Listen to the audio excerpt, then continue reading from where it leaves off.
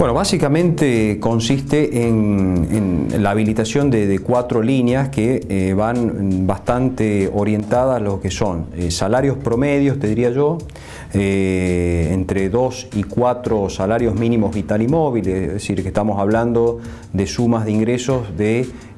los, que van en el rango entre los 16.000 y los 32.000 pesos. Las condiciones que se van a tener en cuenta son, por supuesto, el, nivel de, ingresos, la capacidad de, pago, de devolución que tenga la persona, el grupo familiar, eh, las condiciones actuales de la vivienda, en general son personas que están eh, alquilando eh, o que viven este, en fin, este, con, otra familia, con, con los padres, etc. Entonces eso también se va a tener en cuenta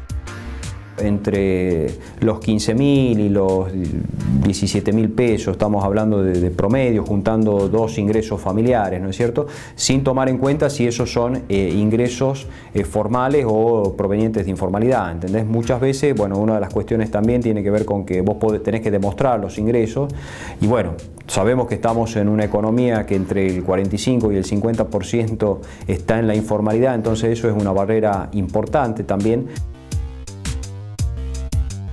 Esto se está apuntando a un segmento eh, muy promedio,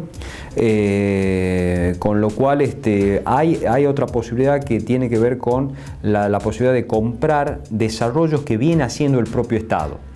Entonces, eh, para ese tipo de segmentos, que acá en Tucumán eh, hay, hay algunos, que, algunos barrios y algunos este, eh, digamos, este, desarrollos que está haciendo el, Estado Nacional, podrían acceder, pero, pero como te digo, eso va a depender, depende mucho, como vos sabés, de la ubicación, depende también, por supuesto, del tipo de construcción, depende de la,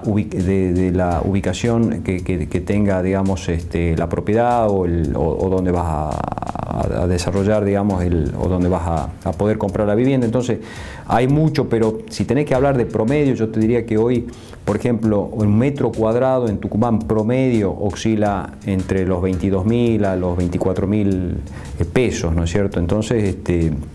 bueno, eh, la verdad que este, se torna un poco oneroso para, estamos hablando para una familia de ingresos promedio, este, se torna oneroso porque tenés que estar pensando en una vivienda de arriba del millón de pesos. ¿no?